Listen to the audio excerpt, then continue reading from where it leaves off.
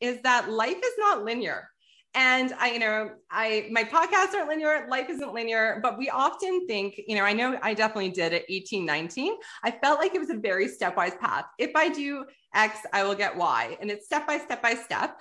And um, you know, I came from um, a very modest um, background, um, two two working parents um, working in retail, and you know, they were like, "Go to university. That is that is the path." And so I went, and I was about to graduate, and I was like, "What? What's the next step?" Like this is what you do. What, what's next? And so you know i had to and they were there along the way to bounce ideas off of but figure out what is the next step. So in both of your stories i you know really want to highlight that it doesn't sound like there's a quote next step and that sometimes it can be you know the steps are all over the place and sometimes they, the steps look like the last step and then the next step and the back step. So you know jan i believe that we capture that with you uh, marvin i just want to turn it over to you and just ask you you know how can we integrate your experience with both how did you kind of quote, get those opportunities. I would use the word earn those opportunities or make those opportunities.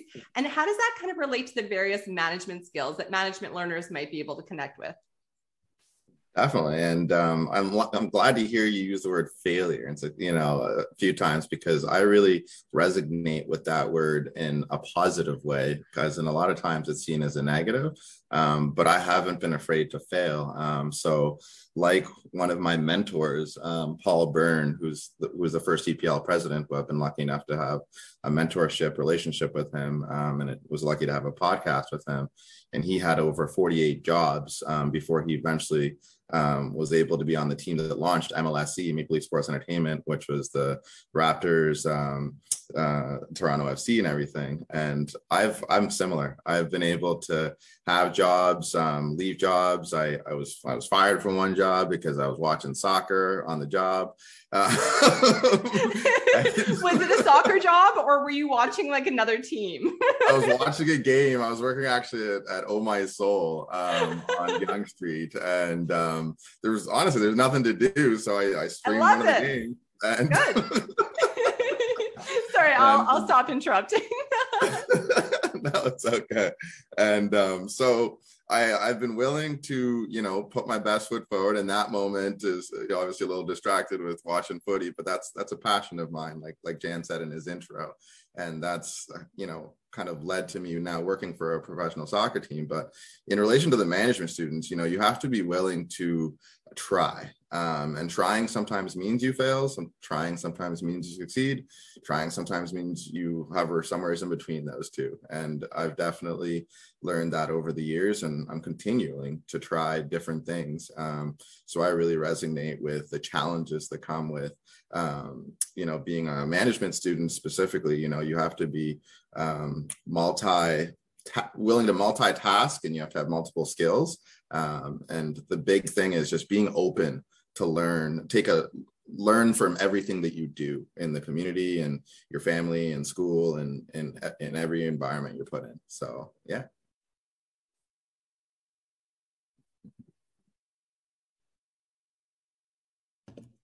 I guess I'll, I mean, there's a part of me that wants to ask Marvin, you know, which game got you fired? Um, it was an Arsenal game. I'm an Arsenal fan. wow.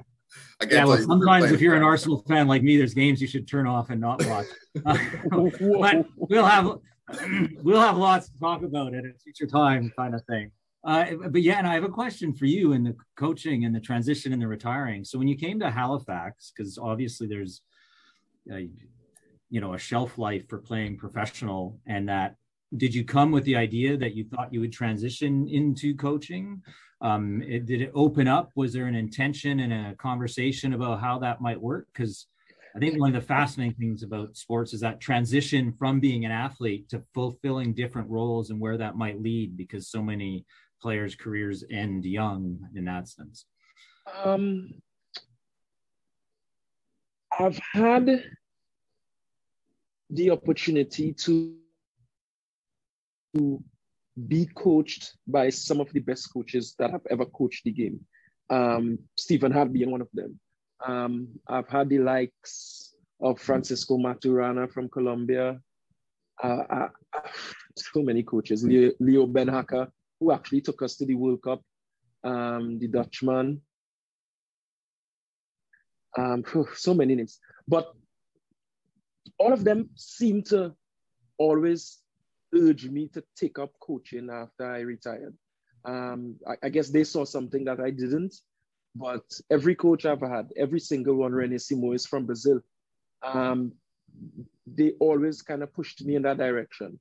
And um, I was, I was, I was, I was lucky enough to, to be somebody who had parents who actually taught me that I should, you know, I should listen to people that are older than me and smarter than me and wiser than me. So it was really, I, I was one that always used to take advice. It was easy to give me advice, and, and, and I was always one to be open to taking positive advice. And um, while playing the game, I actually did a number of coaching courses. Um, in saying that, I just graduated uh, doing my Canadian B license uh, in February. I just completed it uh, last month. But when I came to Halifax, I had no intention of retiring. Um, in, in my personal opinion, I think uh, I didn't have the season that would have led me to being nominated for CONCACAF Goalkeeper of the Year on two separate occasions. And I was kind of disappointed. But as I said, I fell in love with the city. I fell in love with the team. I fell in love with the organization. And I really felt like I wanted to contribute.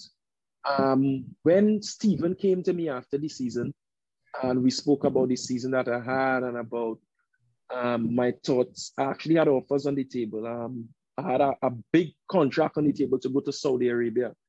And as I said, at, for me at that point, it, it, wasn't really about money. It wasn't about anything else but love. I really love the city. I really love the team. And um, the transition was, was, was, was, for me, it was effortless because I was always that type of player. I was always that type of person who would help and who would try to, to, to, to, pass positive information and good coaching tips and ideas onto the younger ones. Um, so much so it kind of led Christian to Christian Oxner, that is to being, in my opinion, one of the best goalkeepers in the country. Um, so yeah, it wasn't it wasn't much of a conversation that was had. I didn't have thoughts of retiring, but as I said, after the season that I had the first year, I really wanted to give back. And after the season, I start with uh, Stephen Hart. We had a discussion, and, and it, it was, as they say, the rest was history after that and I mean, and just I could see the relation. I mean, just in terms of because you were such a senior player, and Christian was obviously very young when they started, that you yeah. would have had to have that mentoring uh, capacity given the nature of the league. So it looks, you know, that I'm that I'm happy that the conversation was positive and it's worked out really well. Yeah, thanks. Um, um, funny story about Christian. I remember he was mentioning this to me the other day. Um, he said it was the first time he had trained with somebody that level of that, that high level of professional, which was myself. And I have a bad habit that I don't really drink water throughout the entire training session. So it could be hour and a half, two hours. I never take a sip of water. And, and, and just the other day we were having a conversation and he was like, bro, I remember the first year you came in. And I was just looking at you like, is this guy crazy? Is this how professionals are? This guy is not even drinking water. And I'm like, yo, professionalism is about you doing the things that work for you. It's not about doing the things that work for somebody else. I say, so if you sit, if you sat there for the entire 2019 and tried not to drink water, dehydrated yourself, that was on you. That wasn't on anybody else. Just, just a funny story. But yeah, um, it was, it was, it was, it was good work. Well, it is good working with the team, with the organization, and, and, and for me, as I said, it was it was it was effortless. It was seamless the transition because I I was always told from from John that I was that type of person, that type of individual that would always pass good information on, and I was always a student of the game. So I guess coaching was always in the books for me. Thank you. Hey, it's um